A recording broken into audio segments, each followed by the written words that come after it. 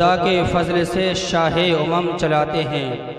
न तुम चलाते हो ये दुनिया, न हम चलाते हैं। खुदा के फजल से शाह उमम चलाते हैं।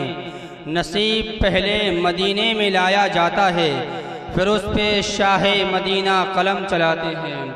न तुम चलाते हो ये दुनिया, न हम चलाते हैं। खुदा के फजल से शाह उमम चलाते हैं।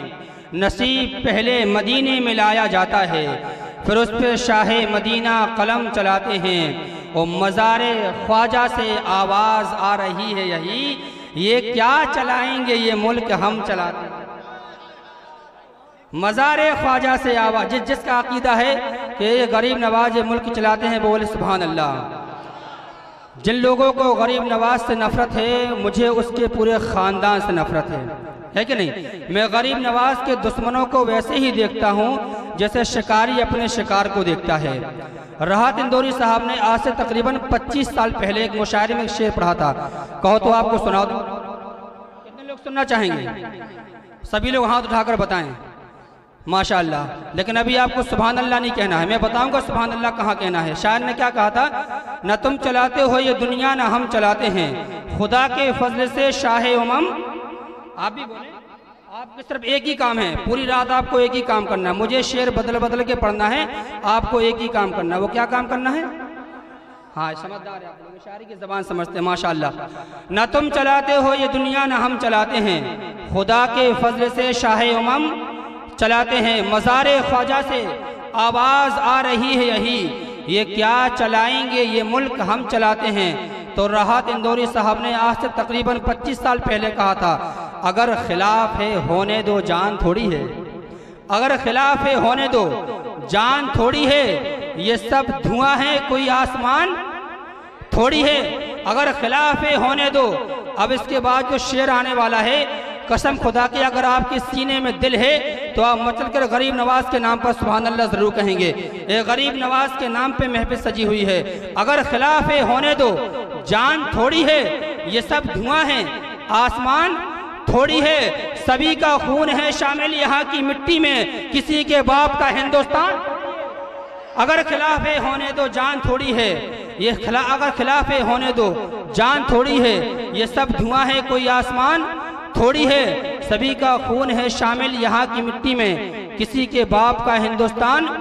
थोड़ी है। थोड़ी है थोड़ी है, थोड़ी ही की ज़मीन। ये इंदौर से चलकर जब दिल्ली पहुँचती है तो दिल्ली का शायर कहता है कि हमारे जैसी किसी की उड़ान थोड़ी है, जहाँ पे हम हैं, वहाँ आसमान थोड़ी है। हमारे जैसे किसी की उड़ान थोड़ी है, जहाँ पे हम हैं, वहाँ आसमान थोड़ी है। तो राहल कुद्दूसी कहते हैं मुरादाबादी, रसूल पाक के जैसे किसी की शान थोड़ी है। अब बोले आप सुबहान अल्लाह रसूल पाक के जैसे किसी की शान थोड़ी है। मियाँ नाते नबी कहना कोई.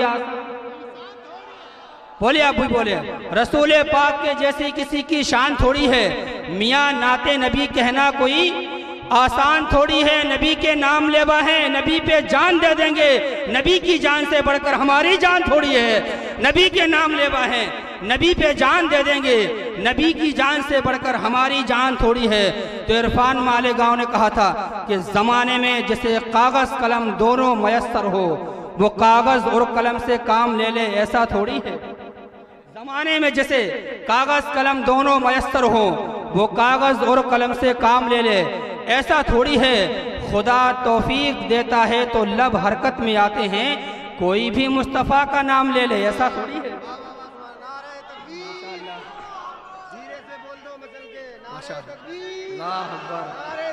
या रसूल अल्लाह या रसूल। जिंदाबाद, माशाल्लाह, बहुत अच्छे। एक शेर याद आ गया कि जलसों में जाया करो बड़ी आन बान से। जलसों में आते हो बड़ी आन बान से, शायरों को देते हो बड़े दिल थाम कर, कुछ अलांसर को भी दे दो खुदा के नाम पर। माशाल्लाह सुबहान अल्लाह सुबहान अल्लाह बहुत अच्छा। ज़माने में जैसे कागज़, कलम दोनों मयसर हो, वो कागज़ और कलम से काम ले ले, ऐसा थोड़ी है, खुदा तौफीक देता है। तो लब हरकत में आते हैं। कोई भी मुस्तफ़ा का नाम ले ले, ऐसा थोड़ी है। आई हज़रत, बड़े ही अदब एहतराम के साथ मैं हज़रत अल्लामा मौलाना ख़तीब हिंदुस्तान, नासर के आला हज़रत हज़रत अल्लामा मौलाना मुफ्ती इफ्तारुल हसन साहब से बड़े ही अदब से गुजारिश करूँगा। उनकी बारगाह में अरीज़ा पेश कर रहा हूँ कि वो माइक पर आएँ। और अपने नूरानी व इरफानी खिताब से हम सामाइन के कुलूब को मुनवर मुजल्ला फरमाएँ। आइए उनका इस्तकबाल, नारे तकबीर और नारे रिसालत की फिजाओं में कर लें। दोनों हाथों को उठाएँ, नारे का जवाब दें। नारे तकबीर, नारे रिसालत मसल के आला हज़रत, उलमा अहले सुन्नत, बस्ती बस्ती करिया करिया। नारे तकबीर, नारे रिसालत जानो दिल रूहो सबा कह के पुकारूं। अय रहबरे मिल्लत, तुझे क्या कह के पुकारूं? चारागर अरबाब मोहब्बत कहूँ तुझे, या दर्द तमन्ना की दवा कह के पुकारूं?